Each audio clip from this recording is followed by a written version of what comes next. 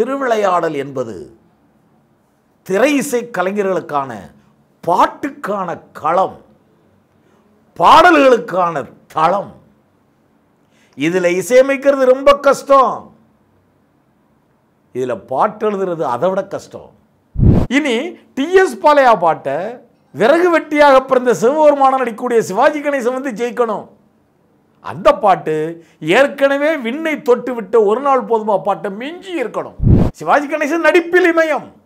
ஆனால் பாட்டு பாடுவதில் என்கின்ற அந்த துணையில் எடுத்து பார்த்தா அவர் இமேஜ் அதுவும் கீழே டல்லு தான். இதுதான் மகாதேவனுக்கும் கண்ணதாசனுக்கும் கொடுக்கப்பட்ட சவால்.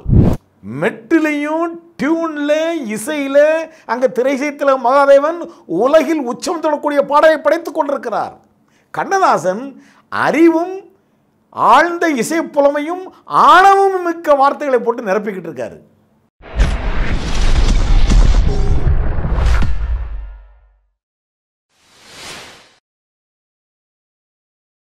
திரைமொழி சேனலின் நேயர்களே உங்களை இந்த திரைமொழி சேனல் வாயிலாக தொடர்ந்து சந்திப்பதில் உங்கள் தோழர் எல்வி ஆதவனாகிய நான் மற்றற்ற மகிழ்ச்சி கொள்கிறேன்.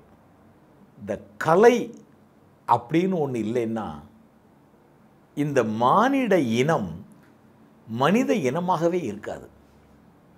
அதிலும் கலை என்று சொன்னதும் கலைகளின் சங்கமமாய் திகழும் சினிமா திரைப்படம் ஏன்னா எல்லா விதமான கலைகளையும் உள்ளடக்கிய ஒரு மிகப்பெரிய கலை பொக்கிஷம் தான் இந்த சினிமா திரைப்படம். இதற்குள் எல்லா விதமான கலைகளும் இருக்கிறது. ஒவ்வொரு கலையும் ஒவ்வொரு வெப்பன் ஒரு ஆயுதம். மானிட இனத்தை செம்மைப்படுத்துவதற்கு ஒவ்வொரு கலையும் சினிமாவில் ஒவ்வொரு ஆயுதம். அதிலும் குறிப்பாக சினிமாவில் இசை பாடல் பாடல் வார்த்தை பாடலுக்கு குரல் கொடுப்பது அந்த பாடலை தாங்கி நடிப்பது இந்த ஒரு வெப்பன் இருக்குது பார்த்தீங்களா இந்த ஒரு ஆயுதம். மிக உயர்ந்த ஆயுதம். இந்த ஆயுதத்தை எல்லோரும் நன்றாக பயன்படுத்தினார்கள். என்ன? மக்கள் திலகம் எம்ஜிஆர் மேலும் ஒருபடி உயர்ந்து இந்த ஆயுதத்தை கெட்டியாக பிடிச்சி மக்களை இன்று வரை நல்வழிப்படுத்தி கொண்டிருக்கிறார். சரி.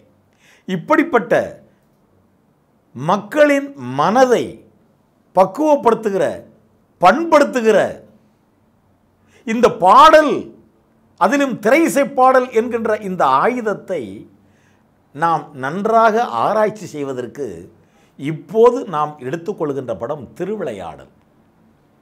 இந்த திருவிளையாடல் படத்திற்கு ஒருவர் இசையமைச்சார்னா இந்த உலகத்தில் அவர் எந்த படத்துக்கு இசையமைப்பார்? இந்த திருவிளையாடல் படத்திற்கு ஒருவர் பாட்டு எழுதினால் இந்த உலகத்தில் எப்படிப்பட்ட சுச்சுவேஷனையும் அவர் வார்த்தைகளால் ஜெயிச்சிருவார்? அந்த வகையில் திரை இசைத்திலகம் கே வி மகாதேவன் கவியரசர் கண்ணதாசன் இவங்க காம்பினேஷன் திருவிளையாடலில் ஒரு மிகப்பெரிய சவாலை சமாளித்தது என்று சொல்வதை விட வெற்றி கண்டது அந்த திரைப்படத்தில் இவர்கள் திறமை கிடைத்த சவாலை முறியடித்தது என்றே சொல்லலாம். நீங்கள் ஆராய்ச்சி பண்ணி பார்த்தா தெரியும். திருவிளையாடல் என்பது திரை இசை கலைஞர்களுக்கான பாட்டுக்கான களம் பாடல்களுக்கான தளம் இதில் இசையமைக்கிறது ரொம்ப கஷ்டம். இதில் பாட்டு எழுதுறது அதை விட கஷ்டம். திரை சித்திரம் கே வி மகாதேவனும் கண்ணதாசனும் சேர்ந்து இவங்க எவ்வளவு டிஸ்கஸ் பண்ணி இந்த படத்தில் இவங்களுக்கு கிடைச்ச சவாலை ஜெயிச்சாங்க தெரியுமா? பாருங்க திருவிளையாடலில் டிஎஸ் பாலையான்னு ஒரு கேரக்டர் உலகத்திலேயே தலை சிறந்த பாடகன் சேமநாத புலவர். இவர் உலகத்திலேயே தலை சிறந்த இசைக்கலைஞன் பாடகன். ஆனால் ஆணவம் பிடிச்சவர். இவருக்கு ஒரு பாட்டு வேணுமா? அப்போ இவருக்கு கொடுக்க வேண்டிய பாட்டு எப்படி இருக்கணும்? மிக உச்சகரமான பாட்டிலாக இருக்கணும். உலகத்தில் இனிமேல் யாருமே இவர் ஜெயிக்க முடியாதுங்க மாதிரி இல்லை. இந்த கேரக்டர் உள்ளே கொண்டு வரும்போது அதுக்கான பாட்டு அப்படிலாம் இருக்கணும். அப்படித்தான் கொடுத்தார்கள். சரி இப்போ பிரச்சனை அது இல்லை. இந்த பாட்டை ஜெயிக்கிறதுக்கு சிவபெருமானே மனுஷனாக பிறந்து இந்த பாட்டு ஜெயிக்கிறதுக்கு அவர் ஒரு பாட்டு பாடினாராம். அது எப்படி? உலகத்திலேயே அனைவரையும் மயக்கக்கூடிய உச்சகரமான பாட்டு ஒரு நாள் போதுமா? இனி இதை ஜெயிப்பதற்கு ஒரு பாட்டை எப்படி உருவாக்குறது? நடக்காது. நடத்தி காட்டினார்கள். பாட்டும் நானே. இதுக்கு மத்தியில் இடையில் ஒரு பாட்டு. அது எப்படின்னா இந்த ஒரு நாள் போதுமா பாடலை பாடக்கூடிய அறிவும் ஆணவும் மிக்க டிஎஸ் பாலையா? இவரை பாட்டில் ஜெயிக்க எவனாலையும் முடியாது. இந்த பாண்டிய நாட்டில் இவர் கூட நாளைக்கு நடக்கக்கூடிய அந்த போட்டி பாட்டுக்கு ஒரு ஆளை தேர்ந்தெடுக்காங்க. அவர் பத்திரர் பானபத்திரர் தினம் சிவபெருமா முன்னாடி பாடக்கூடியவர் அவர் டிஆர் மகாலிங்கம். எவ்வளவு பெரிய இசைப்புலவனும் முடியாது என்று சொல்லி ஒதுங்கிவிட கடைசியில் பாண்டிய மன்னன் யோ உம்மை விட்டா ஆள் இல்லையா? பாடபத்திர நீர் தான் நாளைக்கு நடக்க போகிற அந்த போட்டியில் ஜெயிக்கணும். டிஎஸ் பாலையாவை ஜெயிச்சு காட்டணும். டிஆர் மகாலிங்கத்தில் சொல்கிறாரு டிஆர் மகாலிங்கம் ஏங்க அவர் எவ்வளோ பெரிய பாடகர்? அந்த துறையில் அவர் எப்படி நான் ஜெயிக்க முடியும்? அது நடக்காதுங்களே. இப்போ இவருக்கும் ஒரு பாட்டு தரணும். ஆனால் பாட்டு எப்படி இருக்கணும்? ஒரு நாள் போதுமா பாட்டு டிஎஸ் பாலையாவுக்கு விண்ணை தொடரும் இதுக்கு மேலெல்லாம் பாட்டு கிடையாதுங்களுக்கும் அந்த பாட்டை வடிவமைக்கணும். பொறுப்பாளர் மகாதேவன் கண்ணதாசன். இனி இந்த பாட்டை விட டிஆர் மகாலிங்க பாட்டு கொஞ்சம் டல்லாக இருக்கணும். ஆனால் கேட்க நல்லா இருக்கணும். எவ்வளோ பெரிய பிரச்சனை பாருங்க. மியூசிக் டைரக்டருக்கும் பாடலாசிரியருக்கும். இனி டிஎஸ் பாலையா பாட்டை விறகு வெட்டியாக பிறந்த சிவபெருமானம் நடிக்கக்கூடிய சிவாஜி கணேசன் வந்து ஜெயிக்கணும். அந்த பாட்டு ஏற்கனவே விண்ணை தொட்டு விட்ட ஒரு நாள் போதுமா பாட்டை மிஞ்சி இருக்கணும். ஏங்க அது ஏற்கனவே நூறு பர்சன்ட் முடிஞ்சு போச்சு.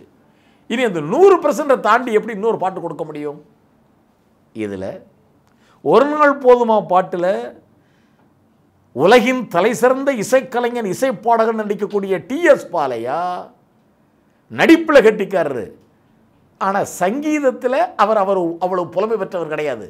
ஆனால் அவர் தான் அதில் நடிக்க போகிறாரு அதுக்கு சங்கீதத்தில் மிக உச்சம் தொட்ட டாக்டர் பாலமுரளி கிருஷ்ணாவை கொண்டு வராங்க. டிஆர் மகாலிங்கம் பாட்டு அந்த பாட்டோட டல்லாக இருக்கணும் ஆனால் நல்லா இருக்கணும். ஆனால் இந்த பாட்டை நடிக்கக்கூடிய கேரக்டர் டிஆர் மகாலிங்கம் டிஎஸ் பாலையாவை போல் அல்லாமல் சங்கீதத்தில் ஞானம் பெற்றவர் சங்கீதத்தில் உச்சம் பெற்றவர் பாருங்க கதாபாத்திரம் சங்கீதத்தில் முறையான பயிற்சி இல்லாத டிஎஸ் பாலையாவை இவரை விட சங்கீதத்தில் உச்சம் தொட்ட டிஆர் மாலிங்கன் கேரக்டர் தோத்து போகணும். பாட்டு அப்படித்தான் இருக்கணும். இதுக்கடுத்து அந்த டிஎஸ் பாலையா கேரக்டர் பாடக்கூடிய பாட்டை மிஞ்சக்கூடிய அளவுக்கு சிவாஜி நடிக்கணும். சிவாஜி கணேசன் நடிப்பில் இமயம். ஆனால் பாட்டு பாடுவதில் என்கின்ற அந்த துணையில் எடுத்து பார்த்தா அவர் இமேஜ் அதுவும் கீழே டல்லு தான். இதுதான் மகாதேவனுக்கும் கண்ணதாசனுக்கும் கொடுக்கப்பட்ட சவால் ஒரு நாள் போதுமா பாடல் உலகை வெல்ல வேண்டும்? இந்த உலகை வெல்லும் பாடலை வெல்ல வேண்டும்? பாட்டும் நானே பாட்டு. இப்போ பாட்டு என்னன்னு தெரிஞ்சு வச்சு அதனால் பாட்டு பேர சொல்கிறோம் இவங்களுக்கு அது கொடுக்கும்போது அந்த பாட்டு உருவாகலையே. அப்போ மகாதேவனும் கண்ணதாசனும் எவ்வளவு ஆராய்ச்சி செய்து இந்த படத்தில் இந்த மூன்று பாடல்களையும் நிரப்பியிருப்பார்கள்? ஒரு நாள் போதுமா? டாக்டர் பாலுமொழிகிருஷ்ணா பாடுறாரு சங்கீதத்தில் ஞானி. நடிக்கக்கூடிய கதாபாத்திரம் டிஎஸ் பாலையா மிகச்சிறந்த நடிகர். ஆனால் மக்கள் மத்தியில் சங்கீத ஞானம் இமேஜ் இல்லாதவர். ஆனால் இவர் தான் டாப்னு சொல்லி நிரூபிக்கணும் இந்த பாட்டில். மகாதேவனும் கண்ணதாசனும் எப்படியெல்லாம் ஜாலம் பண்ணியிருக்காங்க பாருங்கள் கொஞ்சம் ஆராய்ச்சி பண்ணி பார்ப்போம். பாலையா உட்காந்து பாண்டிய மன்னனுடைய சபையில் அவர் பாட்டை மீசை அப்படி தட்டிட்டு அந்த காலத்துக்கு மேலே போட்டுட்டு இசைக்கலைஞரில் சுற்றி உட்காந்து ஒரு நாள் போதுமா? இன்றொரு நாள் போதுமா? அதை நான் பாட இன்றொரு நாள் போதுமா? நாதமா? கீதமா? இதை நான் பாட இன்றொரு நாள் போதுமா? அப்படில ஒன்று எனக்கு இந்த திருநாடு சமமாகுமாம்பாரு மெட்டிலையும் டியூனில் இசையில் அங்கே திரைசைத்தில் மகாதேவன் உலகில் உச்சம் தொடக்கூடிய பாடலை படைத்துக் கொண்டிருக்கிறார். கண்ணதாசன் அறிவும் ஆழ்ந்த இசை புலமையும் ஆணவமும் மிக்க வார்த்தைகளை போட்டு நிரப்பிக்கிட்டு இருக்காரு. உள்ள நிரப்பா பாருங்க. டிஎஸ் பாலையோட நடிப்போட அந்த குழல் என்றும் யாழ் யாழென்றும் அவர் கூறுவார். என் குரல் கேட்ட பின்னாலே அவர் நாணுவார். அழியாத கலை என்று என்னை போற்றுவார். என்னை அறியாமல் போவோர்கள் எழுந்தோடுவார். என்னை அறியாமல் போவோர்கள் எழுந்தோடுவார். எழுந்தோடுவார். தோடி தோடி ராகத்தின் பேரை உள்ள கொண்டுருவார். கலையாத மோகன சுவை நான் என்றோ மோகனம் ராகத்தை உள்ள கொண்டு வராரு. எனக்கு இணையாக தர்பாரில் எவரும் உண்டோ? தர்பார் அந்த ராகத்தின் பேரை கொண்டு வராரு. கனடா கனடா ராகம். என் இசை தேனடா இசை தெய்வம் நானடா. அப்படி உட்காந்து கால் மேலே கால் போட்டு அது கடையில் மீசையை முறுக்கின உடனே மகாதேவனுடைய மெட்டும் பாலமுருகிருஷ்ணா குரலும் கண்ணதாசனுடைய அறிவு ஆணவம் தொடுக்கக்கூடிய வார்த்தைகளும் டிஎஸ் பாலையாவின் நடிப்பும் அந்த பாட்டை நாம் பார்த்துக்கிட்டு இருக்கும்போது நம்மளை ஒரே வச்சிரும். அது ஆணவம் மிக்க புலன் என்றால் கூட அவன் ஆணவம் கொள்வது நியாயம்தான் ஐயா. என்ன திறமை ஐயா? என்று ஒத்துக்கொள்ள வைத்து விட்டது. ஆக இந்த பாட்டு தான் படத்தில் அந்த ஆர்டரில் முதல்ல வருது. நான் சொன்ன மூணு பாட்டில். இதுலேயே முடிச்சிட்டோம். இப்போ நம்ம நமக்கு கதை தெரியும். இனி இந்த பாடலுக்கு போட்டியாக பாடக்கூடிய இன்னொரு புலவன் யார்? எவனுமே இல்லை. யாரோ பத்திரரா பானபத்திரரா அவர் வந்து என்ன பாட போகிறாரு அந்த பாட்டு டிஆர் மாலிங்கம் பாடணும். அது டல்லாக இருக்கணும் ஆனால் நல்லா இருக்கணும். அது என்னங்க? நல்லாவும் இருக்கக்கூடாது ஆனால் நல்லாவும் இருக்கணும். உடனே கையில் எடுக்காங்க. அதை எப்படி பூர்த்தி பண்ணுறாங்க இசை தமிழ் நீ செய்த அருஞ்சாதனை நீ இருக்கையிலே எனக்கு பெருஞ்சோதனை. அவரால் முடியாதுங்கிறது. ஐயோ அவன் கூட டிஎஸ் பாலையோட போட்டி போட என்னால் முடியாதியா? அப்படின்னு அவரே ஒத்துக்கிறாரு. சிவபெருமான்ட்ட போய் அழுகிறாரு புலம்புறாரு. பாட்டு நல்லா இருக்கு. ஆனால் இவர் என்னால் முடியாதுன்னு அழுவதும் புலம்புவதும் இந்த பாட்டை டல்லாக இருக்கிறது மாதிரி நமக்கு ஃபீல் பண்ண வைக்குது. ஆனால் உண்மையிலே பாட்டு சூப்பர் பாட்டு. பழி வருமே பாண்டி நாட்டிலே வசை வருமே குழலி மணவாளனே உனது வீட்டிலே. எப்படியா நாம் பாடி தோத்துட்ட நிலைமை என்னையாகும் அப்படியே பாட்டை கருத்தை அப்படி கொண்டு வந்து வேருக்கு நீரூற்றி விளைக்கின்ற இறைவா எனக்கு ஒரு பழி நேர்ந்தால் அது எனக்கில்லை இது உனக்கல்லவான்னு சொல்லி பாட்டை முடிக்கும்போது பாட்டும் மெட்டும் டியூனும் டிஆர் மகாலிங்கத்துடைய குரல் வளமும் உச்சம் மிக நல்ல பாட்டு. ஆனால் நமக்கு இந்த பாட்டு அந்த பாட்டை கம்பேர் பண்ணுறப்போ இது கொஞ்சம் டல்லாக ஃபீல் பண்ணணும். ஆனால் அப்படி இல்லை அருமையான பாட்டு. அதுக்கு தான் சிவபெருமானை கெஞ்சுறது மாதிரி அவங்க கூட என்னால் முடியாதியா? ஏயா? என்னை கொண்டு எங்கே சேர்க்குற? இதில் ஏதாவது தோத்துட்டா நிலைமை என்ன ஆகும்?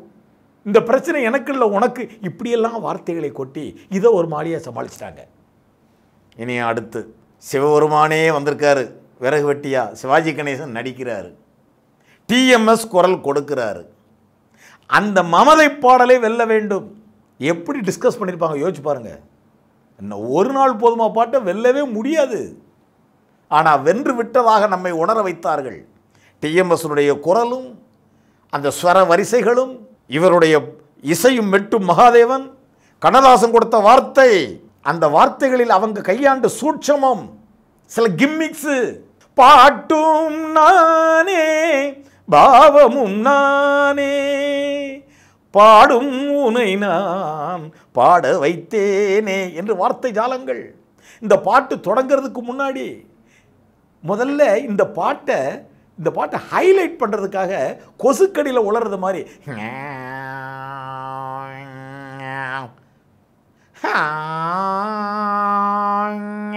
இந்த பாட்டை டல்லாக முதல்ல காமிச்சு அதுக்கு பிறகு சவுந்தரராஜன் குரல் வளர்த்தால் ஹா!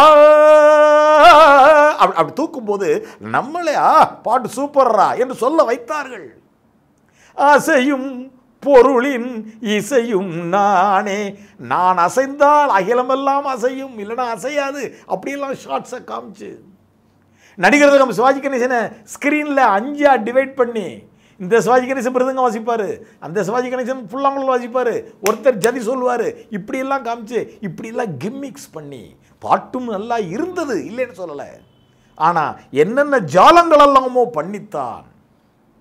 டிஎம்எஸ்ஸின் திறமையை எடுத்து நடிகர் திலகத்தினுடைய நடிப்பு திறமையை எடுத்து கண்ணதாசனுடைய வார்த்தை ஜாலங்களை எடுத்து மகாதேவனுடைய இசை ஜாலம் புரிந்து இவர்கள் அந்த ஒரு நாள் போதுமா பாடலை வென்று விட்டதாக வென்று காட்டினார்கள். நாமும் ஒத்துக்கொண்டோம் நம்பினோம். உண்மையில் என்ன? ஒரு நாள் போதுமா? யாராலும் வெல்ல முடியாத பாடல். இது எதுக்கு சொல்கிறேன்னா திருவிளையாடலில் இந்த மூன்று பாடல்களினுடைய பொறுப்பேற்று கொண்ட கண்ணதாசனுக்கும் மகாதேவனுக்கும் எவ்வளவு பிரச்சனை இருந்தது தெரியுமா? இதை சமாளிக்க. இப்போ அந்த பாட்டு நமக்கு கிடச்சிருச்சு அதனால் அதனுடைய மகத்துவம் நமக்கு இன்னும் தெரியலை. ஆனால் இவங்க அந்த பாட்டை உருவாக்குறதுக்கு முன்னாடி எதையெல்லாம் உள்வாங்கி டிஸ்கஸ் பண்ணி ஆராய்ச்சி பண்ணி மண்டையை உடைச்சி இது இப்படி கொடுத்துருப்பாங்க?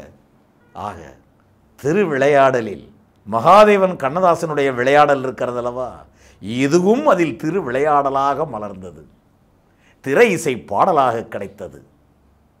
திருவிளையாடலில் இசையமைத்தவர் உலகில் எந்த படத்திற்கும் இசையமைக்கலாம் திருவிளையாடலுக்கு பாடல் புரிந்தவர் பாடல் வார்த்தைகளை குவித்தவர் உலகில் எந்த படத்திற்கும் பாடல் வார்த்தைகளை தரலாம். என்பதை சொல்லி இப்படியெல்லாம் நமக்கு கொட்டி கொடுத்த அந்த கலைஞர்களை வணங்கி உங்களிடமிருந்து பிரியாவிடை பெறுகிறேன். உங்கள் தோழர் எல்வி ஆதவன்.